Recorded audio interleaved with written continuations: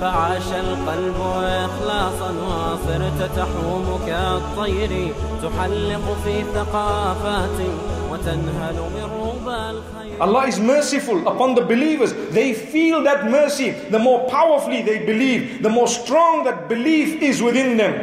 You have people, mashallah, they have a small thorn that prick them on their finger. They already start questioning Allah. Oh Allah, what did you do to me? Why me? Why did this happen? And you have people, they have lost lives and limbs and still they say Alhamdulillah ala kulli hal. When the Prophet Muhammad sallallahu when he lost his son Ibrahim, he was holding him in his hands and do you know what he said? He said, we will not utter a single word. We will not utter a single word against what Allah has decreed. Not one word. We will only say that which pleases Allah. Inna lillahi ma akhadha wa lahu ma a'ta. Indeed, Allah is the owner of everything He took away.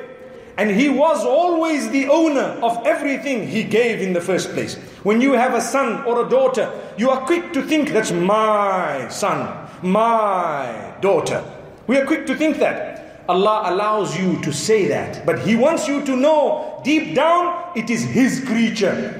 That's what it is. When He takes the child away before you, He loved the child more than you could ever have loved the child.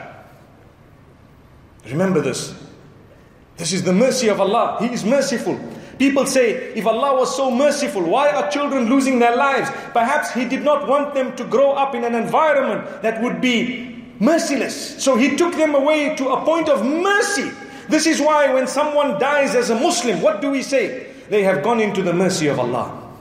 They have gone into the mercy of Allah. That's what we say, which means they are in a better place. Allah does not allow you to taste hurt beyond a certain point. He takes your life away. If someone starts slicing your body, may Allah not do that to us and may that never happen to us. You will feel the pain initially, but beyond the point you will faint. And beyond that point you will die. Why? Because Allah is having mercy on you. He doesn't want you to taste so much of pain. Beyond a certain point He says, no, you're taken away. When a person suffers a car accident and they've broken bones, many a time you will find them unconscious. That's the gift of Allah. He doesn't want them to feel what's happening. Did you ever think of that? People say they're in a coma. That coma is a gift of Allah. Perhaps if they were alive, they would not be able to endure the pain. That's the mercy of Allah. Talk of rahmatun lil alameen. So this is Ar-Rahim.